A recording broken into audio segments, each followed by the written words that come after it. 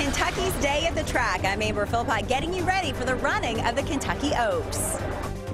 A gorgeous Oaks Day across the Bluegrass State. Kentucky Derby Day looks even better, and I'm tracking summertime just ahead.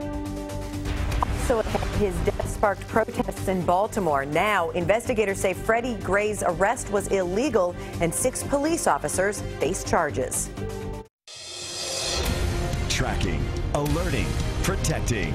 This is WKYT News at 4. Good afternoon. I'm Jennifer Palumbo. This is a big weekend in the Bluegrass State, and so far the weather is perfect. We'll head to Louisville in a moment, but here in Lexington, it's a beautiful afternoon. This is a live look at Triangle Park in downtown where temperatures are close to 70 right now. Chief Meteorologist Chris Bailey has a first look at the forecast, and Chris, this is a winner. Boy, it really is, Jennifer. I was looking at that shot you had from downtown just then. Absolutely gorgeous, and a lot of folks across the region seeing a similar sky condition, though a couple of trouble spots still hanging on to southeastern Kentucky. We were looking into downtown. Let's look out to where we are a little farther to the east and to the eastern side of Fayette County. Uh, it's a mix of sun and clouds out there. You mentioned that thermometer getting close to 70. It's 67 officially right now. Humidity at 51%. 69 into Frankfort. Look at Churchill Downs right at 70 degrees right now, 70 into Covington. Though we get into southern and southeastern Kentucky, notice how temperatures here are lagging a little bit. 59 Jackson, Harlan at only 55, just low 60 showing up into the London, Corbin, and Somerset area. So the core of the warmer temperatures today compared to yesterday is right on top of northern parts of Kentucky. We're 10 degrees warmer than at this very same point in Lexington. Live First Alert Defender has nothing going on for precipitation. But here's why we're so much cooler in the southern and southeastern Kentucky. Still some clouds that are hanging on and a few more to go through as we go into the evening. But the focus of the forecast, Jennifer, is on basically summertime that is coming a little early this year. We're going straight from below normal into summer in the seven day forecast in 15 minutes. Chris, this weather is perfect for Oaks Day 141 at Churchill Downs in Louisville, a day that celebrates the ladies. The Kentucky Derby, of course, is known as the Run for the Roses. Today, the fillies run for the lilies. WKYT's Amber Philpott and Deanne Stevens begin our live team coverage at Churchill Downs. Hello, ladies. Hey, good afternoon. Jennifer. Hello to you, Jennifer. Boy, it is beautiful here. The sun is certainly shining on our old Kentucky home. Churchill is a great place to be. And Deanne, we've done a number of these together, and this one by far is one of the most beautiful in a while. I said earlier, today has been absolutely picture perfect for Kentucky's Day at the Downs. People come from all across the world for this event this weekend, Oaks and Derby. What Mother Nature has provided to show off the state of Kentucky is fabulous today. It's hard not to enjoy this kind of weather weather for sure. Well, here at the Oaks, there's a little bit of something for everyone, from the fashion to the food to the horses. There is something for every single person to enjoy. Pink lilies. It's the way to get your day started off at the Kentucky Oaks, the signature drink. Thousands are expected here at Churchill Downs, a day set aside for the ladies. While it's billed as Kentucky's Day at the track, we found folks from Ohio to California all here to take in a beautiful Kentucky day at the track. Oh, I just barely walked in and got my first fun drink, and I'm excited. I'm excited to see everybody's fun outfits and have a good time. It's a great time. I get excited. It's like Christmas. I couldn't sleep last night. It's just so much excitement. The horses, all the people, everyone dressed up, everyone's beautiful. It's a great time you know, we take for granted. We've grown up here. We love the Oaks and Derby. It is so great seeing it through the eyes of people from out of state and just how much fun they really have when they come here. Truly is a magnificent day here at Churchill Downs. But what about the race? We're talking about the Oaks race. Uh, set to take off at about 5:49 today. Rob probably with us. Who should we be betting on? I probably wouldn't be the first person to ask.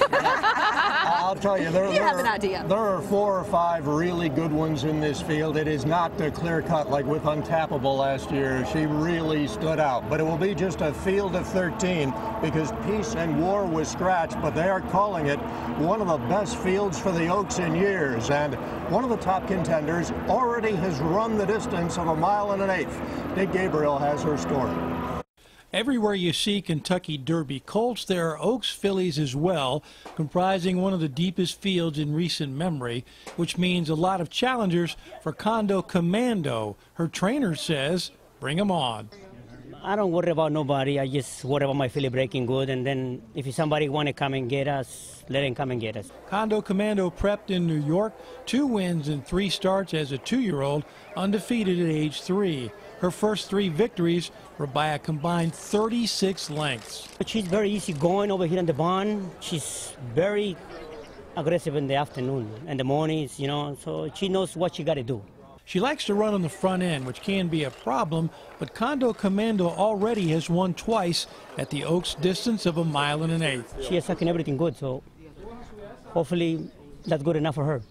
Track handicapper Mike Battaglia said setting the morning line for the Kentucky Oaks may have been tougher than it was setting it for the Derby. And even with such a deep and talented field, Rodriguez said he's not worried. It's very, very deep field, uh, but I think we got a very good feeling. And like you guys say, um, she went two times in a Malina A.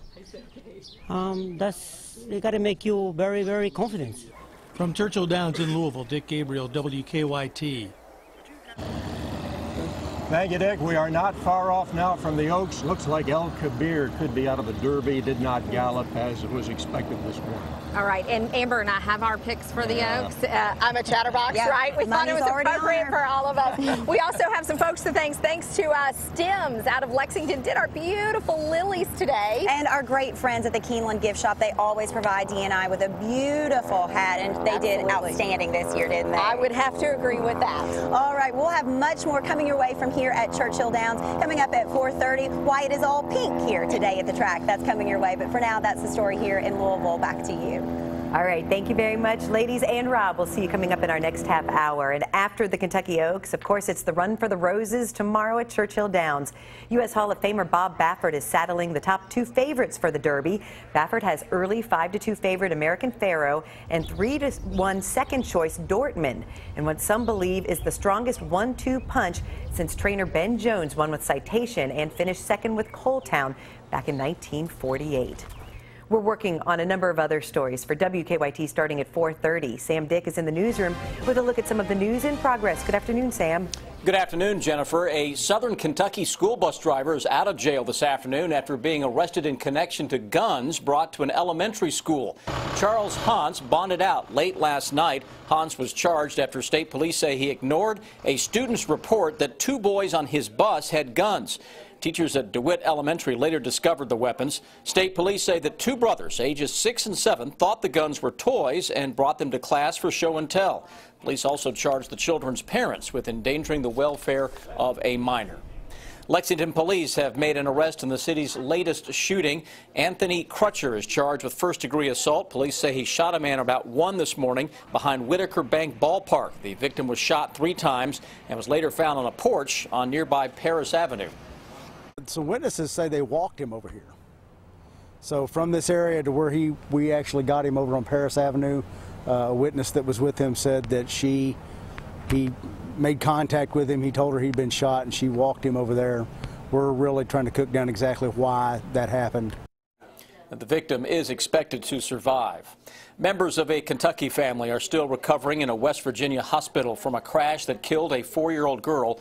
A close friend tells WKYT that the family was headed back to Bourbon County yesterday to attend a funeral when they crashed on I-79 in West Virginia.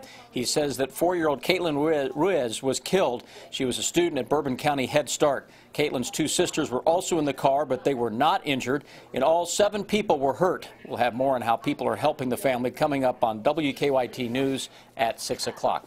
That's a quick look at some of the news in progress. Jennifer, back to you. Thank you, Sam. Now to a story making headlines across the nation at 4. Six Baltimore police officers now face charges in the death of Freddie Gray. The announcement from the Baltimore City State's attorney came this morning as protests continue in the city and across the country. Stacey Cohan is in Baltimore with the latest. As demonstrations continue in Baltimore, the city's chief prosecutor announced criminal charges against six officers. I heard your call for no justice, no peace. Your peace is sincerely needed as I work to deliver justice on behalf of this young man. Baltimore State's Attorney Marilyn Mosby called the April 19th death of 25 year old Freddie Gray a homicide. Charges range from second degree murder to manslaughter to second degree assault. The city's mayor, Stephanie Rawlings Blake, said the charges send a message. To those of you who wish to engage in brutality, misconduct, racism, and corruption, let me be clear. There is no place in the Baltimore City Police Department for you.